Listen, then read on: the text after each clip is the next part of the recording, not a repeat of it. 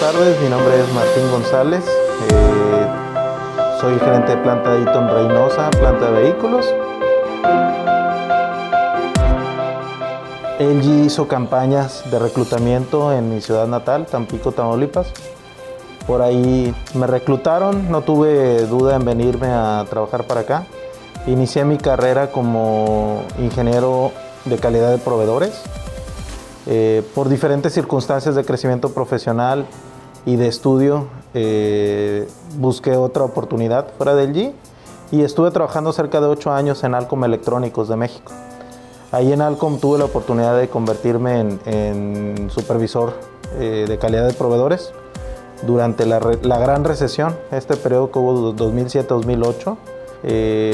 ahí mismo en Alcom se me da la oportunidad después de convertirme en supervisor de compras desde procurement, MRO, desarrollo de proveedores y eh, desempeño ese rol hasta el 2015 que son entro como business team leader en el área de materiales para, para válvulas.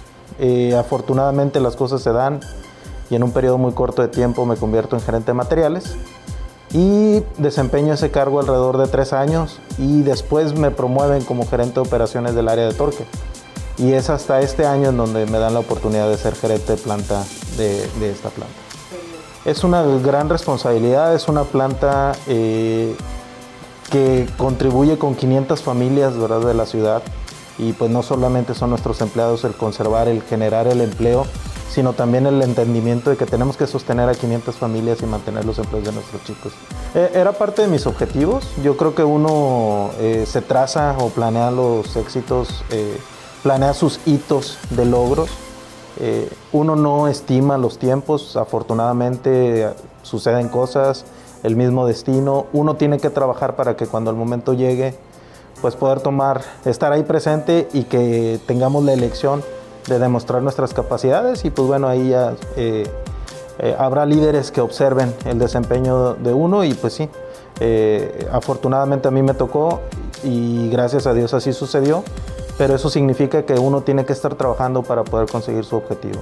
Yo me considero una persona eh, que genera equipos de trabajo exitosos. Si podemos hablar de mayores logros, creo que en todo mi trayecto de liderazgo he dejado equipos competitivos de trabajo, equipos unidos y equipos que sin necesidad de que yo esté presente puedan tomar el rol y el liderazgo de cumplir con los objetivos de la organización o del departamento que les demande. Entonces, ese para mí es uno de mis, de mis mejores logros.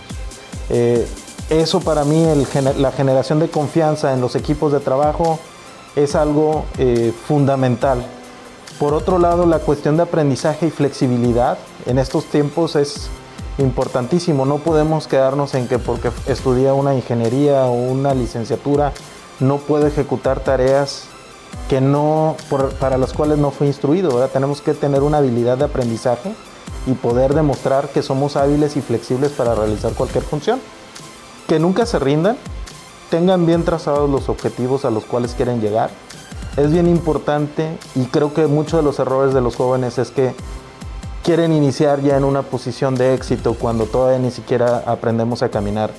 Es importante equivocarnos, es importante intentar y que de las equivocaciones no necesariamente va a venir un, una declive.